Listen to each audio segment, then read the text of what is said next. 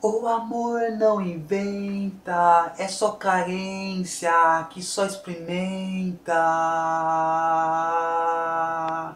O amor a gente não inventa, é só carência que só experimenta.